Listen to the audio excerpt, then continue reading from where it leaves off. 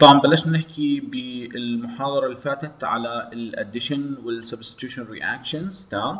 وبلشنا نحكي عن اللي هو ال addition reactions لل alkenes بداية حكينا لما بيكون في عندي اللي هو A و B reagent عبارة عن A و B وفي عندي اللي هو الكين عندي double bond بتم إضافة ال A على واحدة من الكربونات وبتم إضافة B على الكربون الثانية وبتحول عندي اللي هي الرابطة الثنائية لرابطة أحادية ولكن حكينا لازم ننتبه بشكل رئيسي على اللي هو شو الألكين اللي عندي وشو ال reagent اللي أنا بدي أعمل له addition إذا كان في عندي symmetry إما بالألكين أو symmetry بال reagent فبالتالي ما بتفرق عندي أنا وين راح أحط ال A أو وين راح يكون مكان ال A وين راح يكون مكان ال B فبالتالي بنلاحظ هنا بهذا المثال في عندي اللي هو الألكين هذا الألكين فيه symmetry بمعنى آخر إذا أنا بقسمه من عند ال double bond النصف الأيمن بيشبه النصف الأيسر. فبالتالي ما حتفرق إذا كان ال A مكانها موجود على اليسار أو إذا كان موجود مكانها على على اليمين.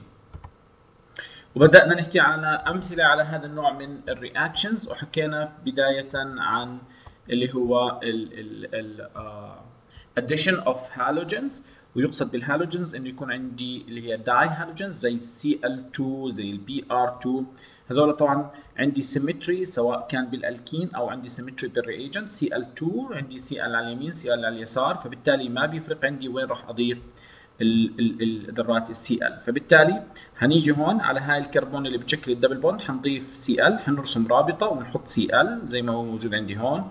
وعلى الكربون الثاني كذلك الأمر حنحط اللي هي ال Cl الثانية وبنحول ال double bond دائما إلى إلى single bond هذا الشيء برضه حكينا بينطبق إذا كان في عندي conjugated system فبالتالي بنضيف Br Br وكذلك الأمر هنا Br Br وبنلغي اللي هم ال double bond بنحولهم ل ل single bond بعدين جينا حكينا عن اللي هي ال hydration أو اللي هي إضافة ال H2O هون بنفس الطريقة ال H2O زي كأنه موجود عندي هيدروجين وموجود عندي OH إذا كان في عندي الألكين في symmetry فبالتالي ما بتفرق معي وين راح أضيف الهيدروجين وين راح أضيف الهيدروكسيل فضفنا الهيدروجين على سبيل المثال على هاي الكربون بينما ضفنا الهيدروكسيل على الكربون الثانية فحولنا ال alkene ل alcohol اللي هو بهاي الحالة عندي ايثانول وهذا النوع من ال reactions دائما بيلزمني acid اللي هو موجود عندي هنا H plus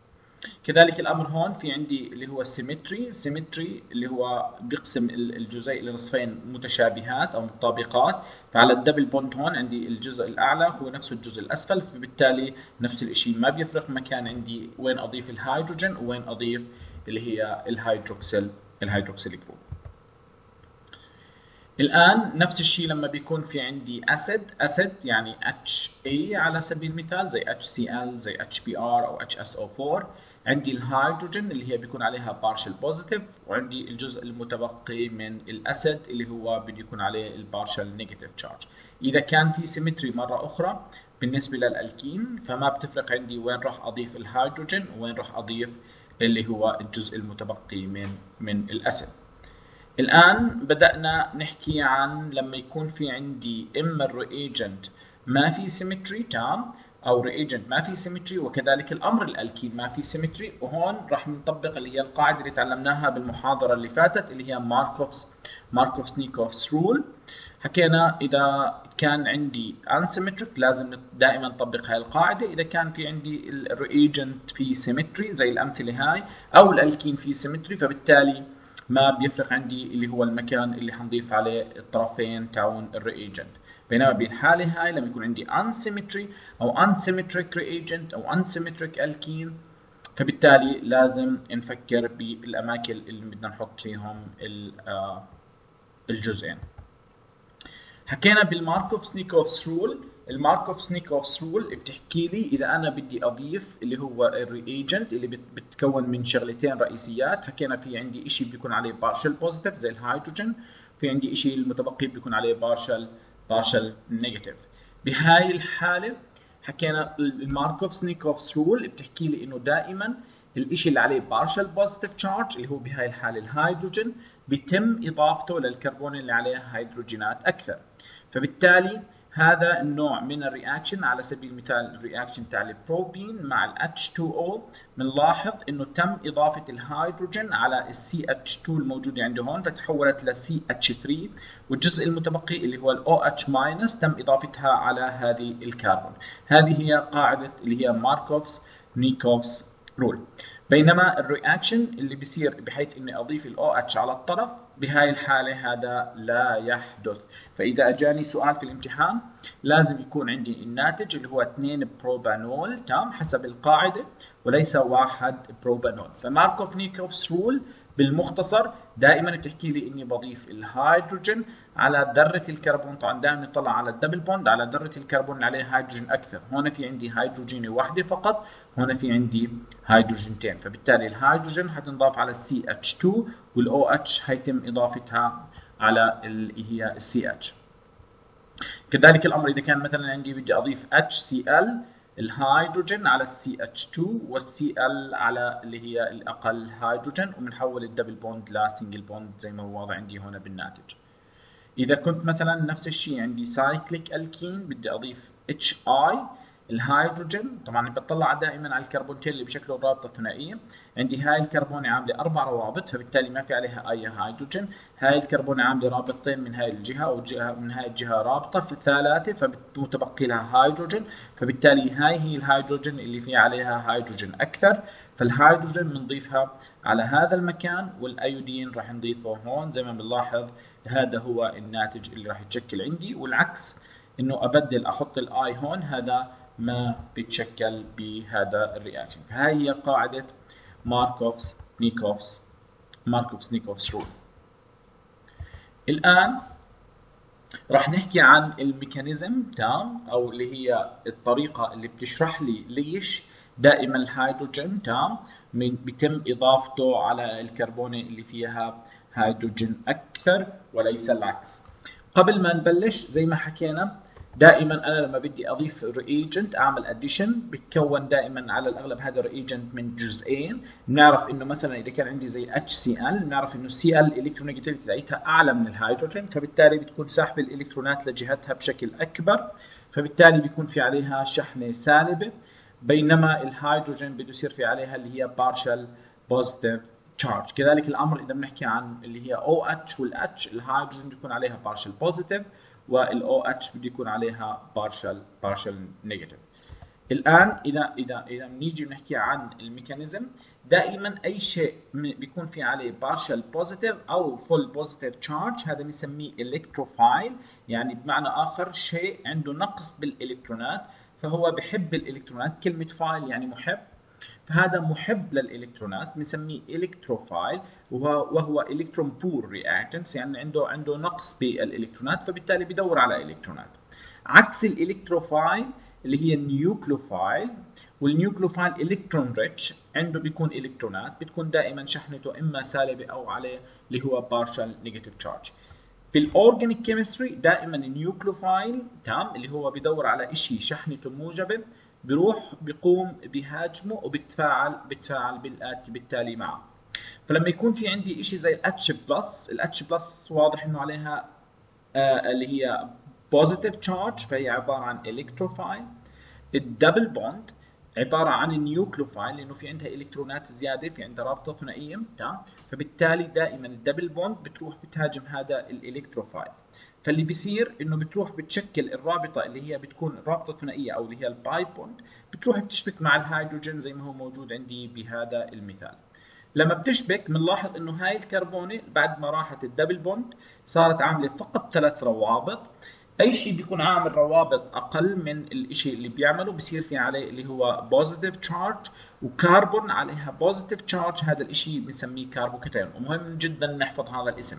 فال carbocation هي عبارة عن كربون عليها شحنة موجبة عليها شحنة موجبة. هذا بنسميه carbo carbocation الآن بعد ما يتشكل عندي هذا ال carbocation حيكون في عندي nucleophile اللي هو الجزء الثاني من ال reagent زي لما أحكي HCl راح يضل عندي اللي هو Cl برجع ال Cl minus بتهاجم اللي هي الكربونة اللي عليها positive اللي هي ال carbocation وبتشكل عندي رابطة رابطة جديدة. فبالتالي هذا هو بيكون عندي الناتج تاع اللي هو ال addition reaction الآن نيجي نحكي ليش بيروح عندي ال reaction ليش بتروح عندي الهيدروجين أو اللي هي قاعدة Markovnikov's rule ليش بتروح عندي الهيدروجين على اللي هي المكان اللي فيه هيدروجين أكثر تمام؟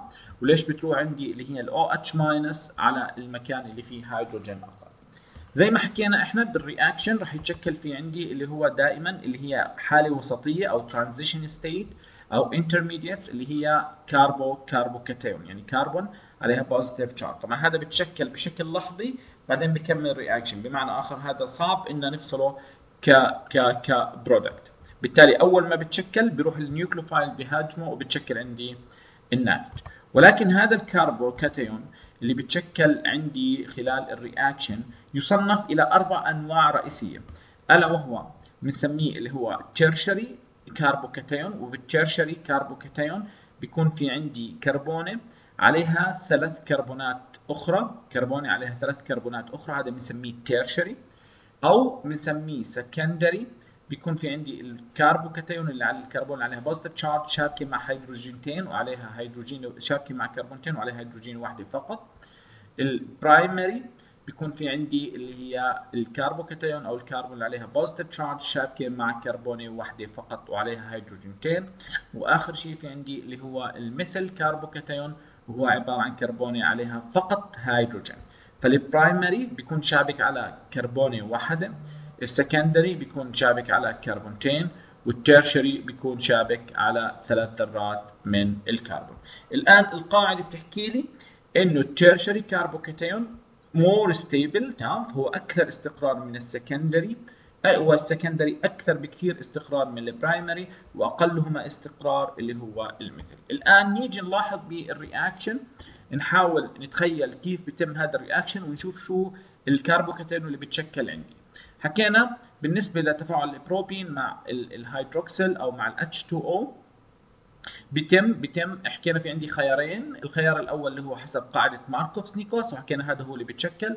والخيار الثاني اللي هو عكس Markovnikov's rule وحكينا هذا؟ ما بينتج. تفسيرها كالاتي نبدأ بال reactant عندي اللي هو البروبين عندي ال H2O حكينا ال H عبارة عن اللي هي ال electrophile اللي هي عليها شحنة موجبة.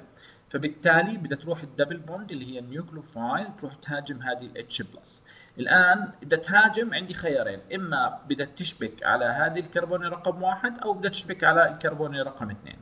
إذا شبكت على كربونه رقم واحد يعني صار في عندي هون CH3 وهي صارت ناقصة رابطة فبالتالي حيتشكل عندي هذا ال carbocation وهو عبارة عن secondary carbocation لأنه في عندي الكربونة هاي شابكة على كربونتين وعليها هيدروجينة واحدة فقط زي ما بنلاحظ هون بهذا المثال.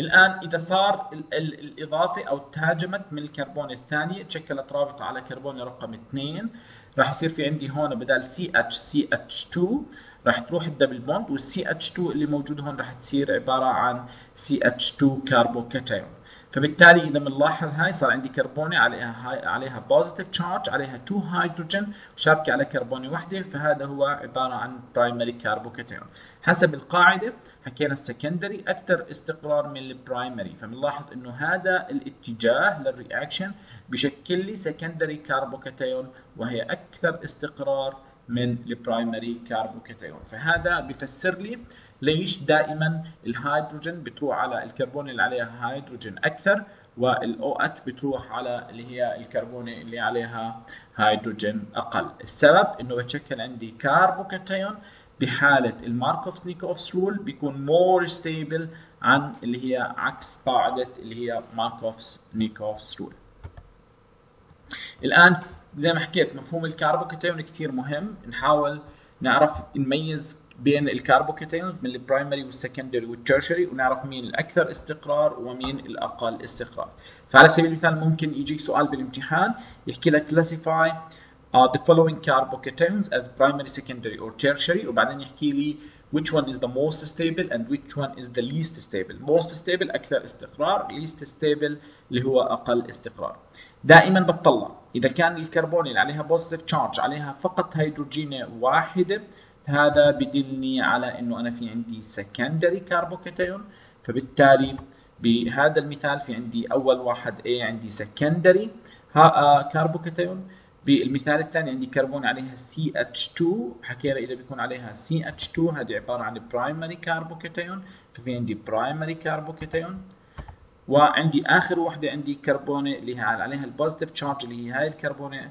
عاملة رابطة رابطتين ثلاثة وما في عليها ولا هيدروجين فبالتالي هذا tertiary مين أكثرهم استقرار؟ زي ما حكينا حسب القاعدة ال tertiary أعلى استقرار من ال secondary أعلى استقرار من ال primary فأكيد هذا ال C راح يكون ال most stable structure إذا بنحكي عن ال least stable structure فاكيد راح يكون عندي اللي هو ال primary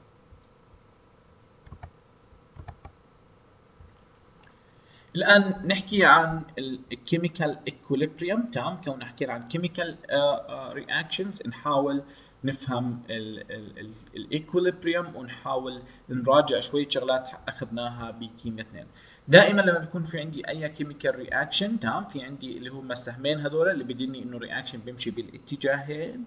وعرفنا إنه دائما هذا الشيء بدلني إنه أنا في عندي اتزان وهذا الشيء بنمثله بثابت الاتزان أو اللي هو ال equilibrium constant واللي هو بيساوي اللي هو حاصل ضرب اللي هي ال concentrations تاعت ال product طبعا مرفوع لل factor اللي بيكون موجود لهذه لهذه ال products تقسيم اللي هم ال reactants مرفوعين لهذه القوى تاعت أو ال factors اللي بتكون قد ال reactants حكينا بكيمياء 2 لما بيكون في عندي ال K ال equilibrium constant أكبر من واحد فهذا بدل إنه في عندي تركيز عالي من ال product هذا بدلني على إنه في عندي product مفضلة عن اللي هي ال reactants إذا كان عندي ال K أقل من واحد هذا بدلني على إنه كمية ال product قليلة فبالتالي ال reaction بفضل ال reaction بفضل اللي هو ال starting material أو اللي هو ال reactants الآن أي chemical reaction. إما بيكون هذا الكيميكال reaction favorable أو بيكون unfavorable. يعني بيكون مفضل أو أو غير مفضل. طبعا كيف بنحدد هذا الإشي؟ بنحدد هذا الإشي عن طريق اللي هي الانثالبي إذا كان في عندي ال product الناتج طاقته أقل من المواد المتفاعلة بنلاحظ إنه بيكون في عندي negative delta H هذا اللي هو سميناه exothermic reaction فدائما exothermic reaction لما يكون عندي النواتج تمام؟ أكثر استقرار من ال reactants وبتكون بهاي الحالة ال equilibrium constant أكبر من واحد. طبعا العكس صحيح. إذا كان في عندي chemical reaction ال product أقل استقرار من ال reactants بيكون عندي delta H positive وبيكون عندي ال equilibrium constant أقل من واحد. فبنلاحظ على سبيل المثال اللي هو ال addition reaction لل alkenes تمام؟ لل HBr على ال alkenes اللي حكينا عنهم اللي هم الآن اللي هو هذا ال reaction ال delta H فيه negative فال equilibrium constant أكيد أعلى من واحد وبتفضل دائما اللي هي ال product عن ال reactants هذا ال reaction exothermic بينما هذا ال reaction بيكون endothermic وهذا ال reaction حكينا عنه لما كنا نحكي عن اللي هو substitution reaction بحالة الالكين لما حكينا بتشكل عندي اللي هو radical وحكينا عشان يصير هذا ال reaction لازم نعطي لازم نعطي light بالتالي هذا بدلني على إنه ال reaction بده activator بده شيء حتى يصير بده طاقة. عشان هيك اللي هي ال delta H قيمتها positive الآن أي chemical reaction بده مر بده مر بما يسمى بال energy diagram ال energy diagram هو بيمثل لي ال coordinate أو كيف بيمشي ال reaction as a function of energy تمام بمعنى آخر بيكون أنا دائما في عندي ال reactants لهم طاقة معينة. ال reactants زي على سبيل المثال اللي هو ال addition reaction بحالتنا. بده يتشكل عندي أول شيء اللي هي ال transition state وحكينا ال transition state إنه تيجي ال double bond الموجودة بالألكين تروح تهاجم الجزء اللي عليه partial positive charge اللي هو بهاي الحالة الهيدروجين فبتشكل عندي اللي هي ال transition state قيمة الارتفاع في ال energy من هون لهون هذا اللي كنا نسميه بال activation energy بال activation energy وهي الطاقة اللي بتلزمني حتى إنه يصير في عندي التفاعل. الآن بعد ما يصير في عندي ال transition state هاي بده يتشكل عندي intermediate وحكينا ال intermediate بهاي الحالة اللي هو تشكل ال carbocation الآن بعد ما يتشكل عندي ال carbocation حكينا ال Br minus تمام أو الجزء المتبقي عليه شحنة سالبة بده يروح يهاجم ال positive charge فبتشكل عندي ال transition state طبعا دائما transition state بيكون شكلها زي ما قبل يعني بتكون حالة وسطية من ال reactants وال product الآن في عندي صار transition 2 تمام؟ وعندي activation energy لل transition state اللي هي الفرق من ال intermediate هون لل transition state وبعديها ال reaction بيكمل حتى يعطيني اللي هو الناتج وبالتالي بيكون المحصلة تاعت ال delta H negative فبالتالي هذا ال reaction في عندي two transition state هذا بنسميه ال energy diagram. الأول transition state لما بتهاجم ال double bond اللي هي الهيدروجين وثاني transition state لما بتشكل عندي carbocation وبتيجي ال Br بتهاجم ال carbocation هذا حتى تشكل معه اللي هي رابطة. فبالتالي حكينا اللي هو ال over overall reaction هذا بيكون عبارة عن delta H له negative لإنه ال product طاقتهم أقل من طاقة ال reactants بنعرف دائما إنه ال favorable reaction التفاعلات اللي بتكون ال activation energy لها أقل هي اللي بتتم وبتكون مفضلة وبتتم بشكل أسرع. إذا بنقارن الآن اللي هي Markovnikov's rule حكينا إنه أنا في عندي خيارين إما يتشكل عندي primary carbocation أو يتشكل عندي secondary carbocation وبنلاحظ إنه بحالة ال secondary carbocation ال activation energy أقل من اللي هي ال activation energy اللي بتلزمني عشان اللي هو يكون في عندي الناتج primary carbocation اللي هي عكس ال Markovnikov's rule فبالتالي هذا بدلني إنه ال Markov تطبيق ال Markovnikov's rule بيعطيني activation energy أقل. الآن نستكمل حديثنا عن ال reactions لل alkenes. وهنا بنحكي عن ال hydroboration of alkene وهنا بننتبه على شغله كثير مهمة وبتخص اللي هو الهيدروجين أو ال HB ال HB 3 طبعا إذا بنرجع للجدول الدوري وبنقارن بين ال electronegativity تاعت الهيدروجين والبورون بنكتشف إنه الهيدروجين لها electronegativity أعلى من البورون وهي من الأمثلة أو الحالات القليلة اللي بيكون في عندي ذرة ال electronegativity تاعتها أقل من الهيدروجين. دائما أي شيء مع الهيدروجين كنا نحكي بيكون ال electronegativity تاعته أعلى فبالتالي بيكون ساحب الإلكترونات والهيدروجين بيكون عليها positive charge لكن بحالة البورون اللي هي ال B عندي البورون ال electronegativity تاعتها أقل من الهيدروجين فبالتالي الهيدروجين هي اللي راح تسحب الإلكترونات ويكون عليها اللي هي ال partial negative والبورون هي اللي حيكون عليها اللي هي ال partial ال partial positive الآن إذا بدنا نطبق اللي هي قاعدة Markovnikov's rule حكينا بقاعدة Markovnikov's rule الشيء اللي بيكون عليه positive هو اللي بيتم إضافته على الهيدروجين على الكربون اللي عليه هيدروجينات أكثر. فبنلاحظ هون إنه الشيء اللي عليه positive charge مش الهيدروجين هو البورون. فبالتالي راح يتم إضافة البورون على CH2 وحيتم إضافة الكربون على أو الهيدروجين على الكربون اللي في عليه هيدروجين أقل. فهاي ممكن إنه أنت تسميها anti Markovnikov's rule بمعنى آخر إحنا بنمشي عكس قاعدة Markovnikov's rule الهيدروجين حيتم إضافتها على الكربون اللي فيها هيدروجين أقل وليس الهيدروجين وليس الكربون اللي عليه هيدروجين أكثر. وهذه فقط بس بحالة يكون في عندي بورون هيدروجين بورون هيدروجين bond تمام بورون هيدروجين bond. فقط لا غير هاي هي الحالة الوحيدة.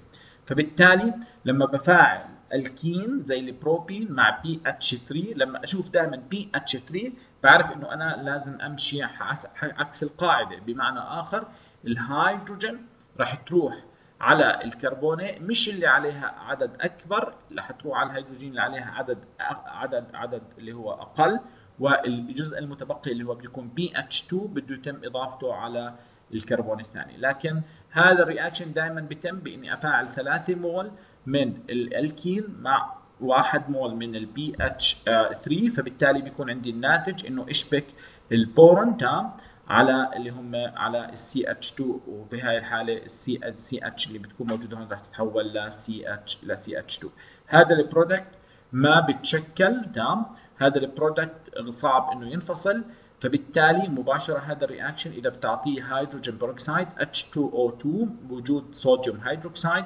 بيروح بكمل بيكسر هون مكان البورون وبضيف OH فبنلاحظ إني حصلت على ألكحول تمام؟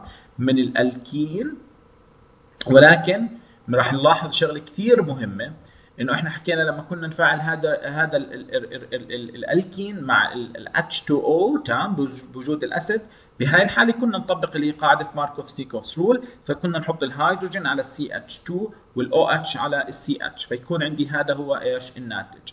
الآن مع ال BH3 حكينا دائما لما بشوف BH3 وبيكون حاطط لي H2O و OH minus تمام؟ بدي أعرف إنه أنا راح أمشي عكس قاعدة اللي هي ال Markovnikov's rule فبالتالي راح أضيف دائما دائما هذا ال mixture حيضيف H2O ولكن عكس الطريقة اللي كنا نضيف فيها هون. فبالتالي الهيدروجين ما راح أضيفها على الكربون اللي عليها هيدروجينات أكثر لا راح أضيفها على الكربون اللي عليها هيدروجينات أقل. فحيكون في عندي هون CH2 وال OH حتتم إضافتها هون. فبنلاحظ إنه في عندي ناتجين مختلفات إذا كان في عندي مرة ثانية H2O دائما بنضيف الهيدروجين على ذره الكربون اللي عليها هيدروجين أكثر. إذا شفت BH3 بالسؤال بعرف إنه أنا بدي أمشي عكس القاعدة فبالتالي راح نضيف الهيدروجين على الكربون اللي عليها هيدروجينات أقل وليس العكس. فبالتالي بنقدر نحضر ناتجين مختلفات من ال alcohols باستخدام اللي هي reagent reagent مختلفة. ناخذ مثال لو على سبيل المثال عندي هذا الالكين وبدي أفاعله مع BH3 وبعد ال BH3 زي ما حكينا بنحط عليه هيدروكسيل أو hydrogen peroxide مع OH minus مباشرة باجي بطلع. بحكي هذا ال mixture هذا الخليط من هذول المركبات راح يضيف لي H2O ولكن وين أضيف ال H وين أضيف الاو اتش بحكي بي اتش 3 معناته أنا بمشي عكس القاعدة. فالهيدروجين راح يتم إضافتها على ذره الكربون اللي عليها هيدروجينات أقل واللي هي واضح إنها هاي الكربون إنه ما في عليها ولا هيدروجين فأكيد راح أضيف الهيدروجين هون وال OH راح أضيفها على اللي هي ال CH2 فبيكون عندي إن هذا هو الناتج. طبعا إذا كان في عندي اللي هو العكس كان عندي بدل BH3 كان كاتب لي اللي هو ال H2O مع H plus بنمشي حسب القاعدة. الهيدروجين بتيجي هون وال OH بتيجي على الكربون اللي عليها هيدروجين آه، أقل. وحكينا إنه هذا تفسيره اللي هو حسب اللي هي Markovnikov's rule تفاعل جديد بسيط. راح نحكي عن ال addition of hydrogen ال addition ل H2 هذا ال reaction دائما بلزمني catalyst من غير ال catalyst ما بيصير. وهذا ال catalyst بالعادة بيكون عبارة عن metal زي النيكل زي البلاتينوم أو أو البلاديوم اللي بيتم بهذا ال reaction إنه زي ما حكينا حنروح نضيف هيدروجين على كل كربونة. عندي H2 H2 فحنضيف كربون هيدروجين على هاي الكربونة وهيدروجين على هاي الكربونة ونشيل اللي هو ال double bond فهذا ال reaction بيحول لي ال alkene ل alkane بيحول لي ال double bond ل single bond طبعا هذا ال reaction بالعادة بيصير على ال surface تاع ال catalyst بمعنى آخر نتخيل إنه هذه عبارة عن اللي هو ال metal بيتم إضافة هيدروجين الهيدروجين بتشبك على ال surface تاع ال metal. الآن لما تضيف الألكين بصير في عندي اللي هي عملية الإضافة للهيدروجين فبنلاحظ إنه الهيدروجين دائما مكانهم بالأسفل فبالتالي دائما بيكون إضافتهم من نفس الاتجاه دائما بيكون من نفس الاتجاه. هذا الإشي مهم لما بنكون بنحكي عن على سبيل المثال زي cyclo cyclopentene أو اللي هو 1 2 dimethylcyclopentene بنلاحظ إنه هنا في عندي سي اتش 3 سي اتش 3 وعندي ال double bond حكينا دائما الإضافة بتتم من نفس الجهة فبالتالي راح أضيف الهيدروجين من الأسفل والهيدروجين من الأسفل. فال CH3 بدها تكون للأعلى وال CH3 هاي بدها تكون للأعلى. وهذا اللي هو سميناه ال cis cyclo أو cis 1 2 dimethylcyclopentene حكينا دائما بال cycloalkenes لما يكون عندي اللي هي المجموعات هاي اللي هي الكبيرة موجودة بنفس الاتجاه هذا الشيء اللي بنسميه اللي هو ال cis. فدائما لما بضيف هيدروجين بوجود metal زي زي البلاتينوم أو البناديوم بتكون بيكون عندي الناتج على شكل cis. بضيف الهيدروجينات والناتج دائما بيكون اللي هو ال cis isomer نوع آخر من التفاعلات اللي هو بنسميه ال Diels-Alder reaction أو بنسميه cycloaddition reaction Diels-Alder reaction نسبة إلى أسماء العالمين اللي اكتشفوا هذا ال reaction بهذا ال reaction بنفاعل diene. diene يعني system بده يكون في two double bonds زي ما بنلاحظ هون عندي double bond single bond double bond فهذا في two double bond سميناه diene. هذا المركب اسمه واحد. ثلاثة butadiene لأنه واحد اثنين ثلاث. فمكان ال double bonds على واحد وثلاث. و buta لأنه في عندي أربع ذرات من الكربون و diene لأنه في عندي حكينا اللي هو two double bonds هذا بنفعله مع الكين عادي. هذا بنسميه diene وهذا بنسميه dienophile بمعنى آخر شيء بحب ال diene. فبالتالي بهذا ال reaction بكل بساطة بصير في عندي cyclization بتشكل عندي ناتج شيء على شكل cyclic عن طريق rearrangement of bonds كيف يعني rearrangement حنمسك ال bond اللي حتكون موجودة عندي هون اللي هي الرابطة ال pi اللي هي جاي من double bond نشبكها هون. ال double bond اللي هون راح تنتقل لهذا المكان وال double bond اللي حتكون هون راح تيجي تشبك هون فبالتالي راح يصير في عندي اللي هي ال cyclic ring هاي بنلاحظ إنه تشكل عندي اللي هي هاي الرابطة جديدة هاي الرابطة جديدة وكان في عندي أنا double bond هون انتقلت للمكان المكان هذا. فدائما دائما بهذا النوع من التفاعلات دائما بطلع وين في عندي الكين وين في عندي diene اللي هو في two double bonds وبعمل rearrangement بمعنى آخر يعني هون بهذا المثال بدي أروح أشكل رابطة جديدة هون وأشكل رابطة جديدة هون أشيل ال double bonds وأخليها تصير بهذا المكان بالوسط. كذلك الأمر إذا كان في عندي حتى system كبير زي هذا تمام؟ أنا بس بتطلع بهمني اللي هي ال double bond اللي هي موجودة عندي هون. هاي ال double bond زي ما حكينا راح تيجي تشبك هون. هاي راح تتحرك يصير مكانها بهذا المكان وهاي راح تيجي تشكل رابطة مع الكربونة تاعت ال double bonds فبالتالي حيكون عندي هذا هو الناتج. دائما بيكون الناتج إنه بيتحدوا هذول الجزيئتين وبتشكل عندي مركب واحد على شكل على شكل حلقة أو على شكل اللي هو cyclic cyclic compound التفاعل أو من التفاعلات الأخيرة اللي راح نحكي عنها اللي هو ال oxidation لل alkene ودائما كلمة oxidation تعني إنه يتم عندي إضافة اكسجين على المركب الموجود عندي. بال oxidation راح نستخدم على سبيل المثال البيرمنجانيت زي اللي هو بوتاسيوم بيرمنجانيت كي ام ان أو 4 هذا معروف ك oxidizing agent لونه purple أو أو أو اللي هو باللون اللي ظاهر عندنا هنا بالصورة.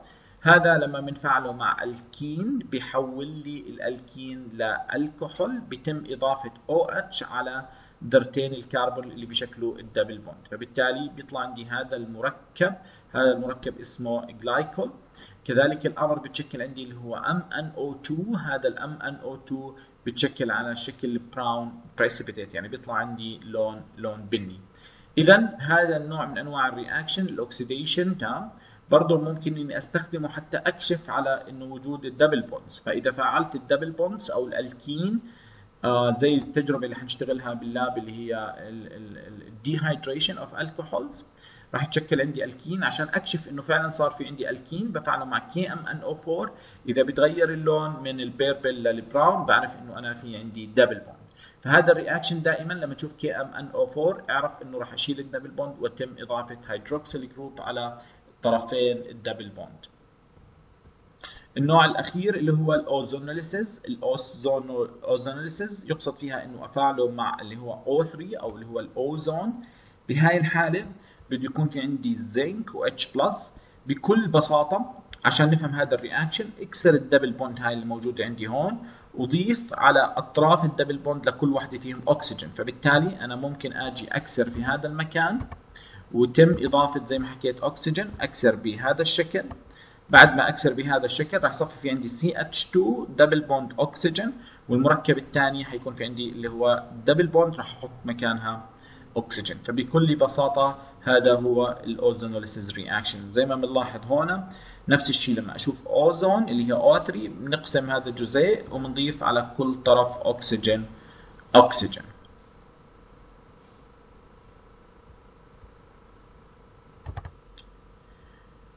طبعا لما بيكون في عندي كربون كربون triple bond اللي هو ال alkyne سبق وحكينا إنه أول شيء ال hybridization لذره الكربون هاي بتكون عبارة عن sp طبعا دائما عشان تعرف ال hybridization لأي ذرة عد عدد المجموعات اللي بتكون حواليها تمام؟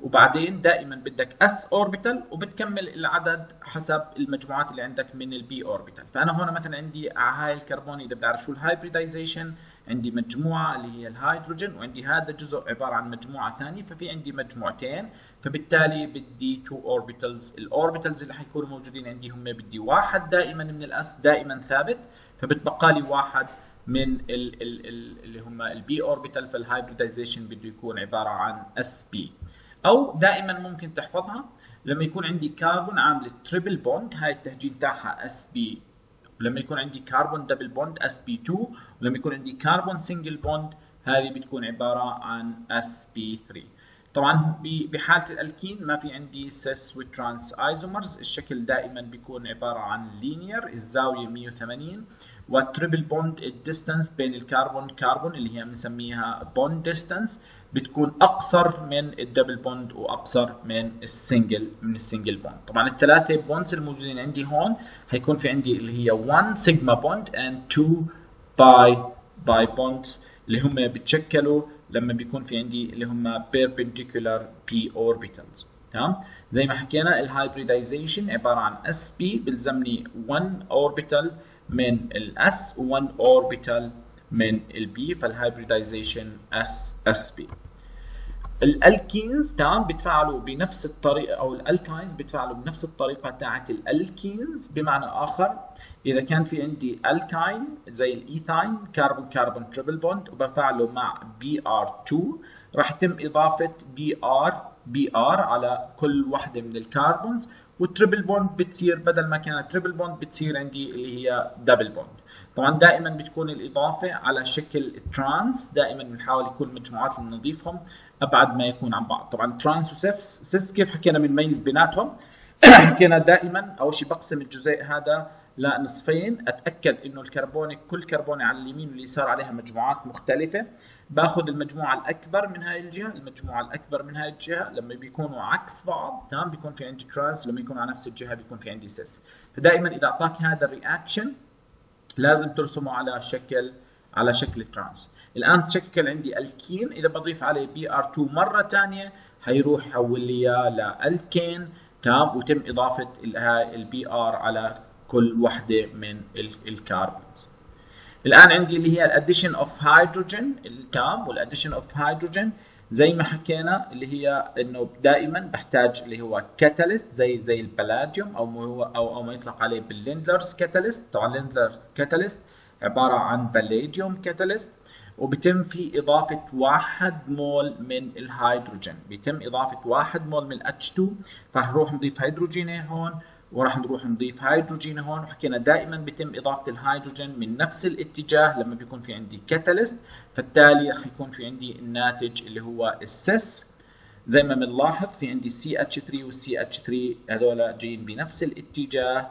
فبالتالي بده يكون في عندي اللي هو ال cis. فبيحول لي هذا ال Lindlar's catalyst ممكن يكون كاتب لي على reaction Lindlar's catalyst أو اللي هو بليديوم بيحول لي الالكاين لالكين الالكاين لالكين طبعا إذا كان في عندي بدال اللي هي ال Lindlar's كان في عندي اللي هو بلاتينوم أو أو اللي هو بلاتينوم تمام اللي هو Pt راح يكمل ويحول لي اللي هو ال alkene ل alkane تمام ولكن إذا كان في عندي ال Lindlar's catalyst بس بنحول من alkyne من alkyne ل alkene بنضيف ال hydrogens بنفس الاتجاه فالناتج بيكون على شكل cis alkene بيكون على شكل cis alkene طبعا كذلك الأمر إنه نفعله مع ال acid بنفس الأسلوب تمام؟ نطبق قاعدة Markovnikov's rule الهيدروجين بده يتم إضافتها على ذرة الكربون اللي عليها هيدروجين أكثر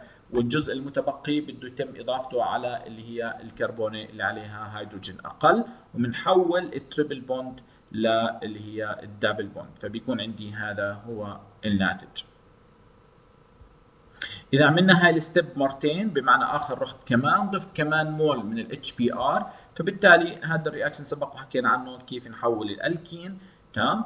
بدنا نروح نضيف الهيدروجين مرة ثانية على الكربون اللي فيها هيدروجين أكثر ونضيف ال Br على الهيدروجين على الكربون اللي عليه هيدروجينات أقل. فبالتالي هذا بده يكون عندي هو الناتج اللي اسمه 2 2 dibromopropane hydration أو addition of water بنفس الأسلوب لما بدي أضيف H2O بوجود ال HgSO4 بتم إضافة آه، آه، الهيدروجين حسب ال Markovnikov's rule الهيدروجين بيتم إضافتها على الهيدروجين اللي بيكون عليها على الكربون اللي عليها هيدروجين أكثر والجزء المتبقي اللي هو ال OH على الكربونه الثاني. فبده يتشكل عندي هذا المركب اللي هو enol بسموه.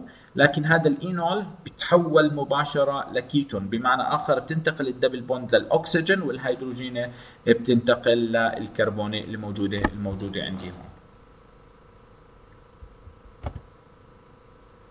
آخر تفاعل اللي هو آه، آه، تفاعل ال alkynes مع اللي هو ال sodium amide طبعا ال alkynes هذه الهيدروجين اللي بتكون موجودة على ال triple bond تعتبر weak acid بمعنى آخر بتتصرف زي ال acid بإمكاني أخسر هاي الهيدروجين.